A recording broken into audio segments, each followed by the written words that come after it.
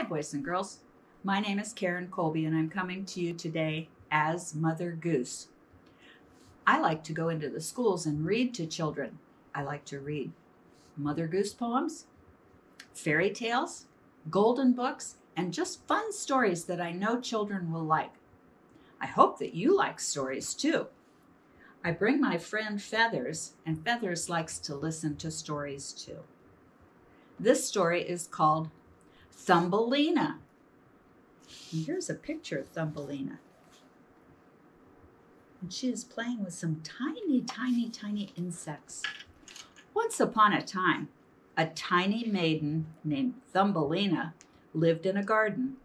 She made her home under a flower. Her bed was a walnut shell, and she had a rose leaf for a blanket. Thumbelina loved living in the garden. All of the bumblebees and dragonflies were her friends. One night, a toad crept through the garden and saw Thumbelina sleeping and thought, What a pretty little wife she will make for my son. Picking up the bed with Thumbelina in it, the toad hopped away. When Thumbelina awoke, she found herself on a lily pad out in the stream. Two large toads were staring at her. The older one said, Meet my son. He will be your husband. Croak, croak, her son said, tipping his hat.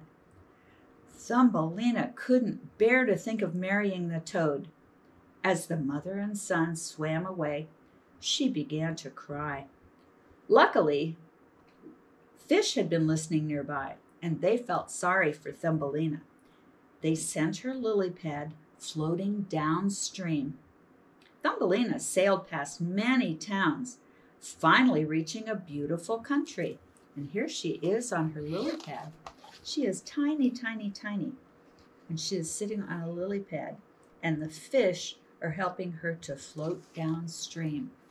We're using our imaginations, aren't we, boys and girls? There, downstream, she wove a, ble- a bed from blades of grass, drank the dew from the leaves, and ate honey from flowers. When the first snow came, Thumbelina took shelter with a field mouse.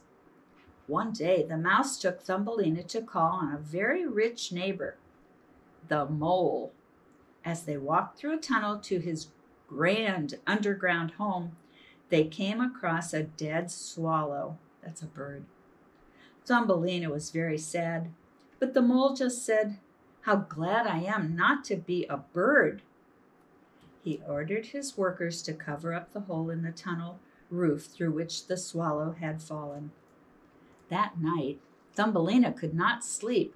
Taking a blanket, she crept out of bed to the tunnel. Farewell, dear one, she whispered. Spreading the warm blanket over the swallow's cold body, she laid her head on the bird's chest. But what do you think she heard then? A thump a heartbeat. The bird was not really dead, only frozen, and the blanket had warmed him back to life. Here is Thumbelina. Thumbelina covered the bird up because she felt badly for it. And she warmed it up, and the bird hadn't been dead. The bird was frozen. And when the bird warmed up, it started to move around and it came back to life. All that winter and on to spring, Thumbelina secretly visited the swallow, bringing him food and water. Then what one day she rushed to him crying, "The mole wants to marry me." Knowing that Thumbelina didn't want to marry the mole any more than she had wanted to marry the toad, the swallow said, "Fly away with me." Thumbelina quickly agreed she climbed on his back, and away they flew. After many days, the bird set Thumbelina down gently in a field of flowers. As tiny people who lived among the blossoms rushed up and welcomed her, Thumbelina felt warm and happy. Finally, she had come home. And here it shows Thumbelina on the back of the swallow flying to her home where all of these little tiny people lived. When the swallow got her back here, she was very happy indeed because she was home. We all feel feel safe and happy when we're home, don't we, boys and girls? I'll be back.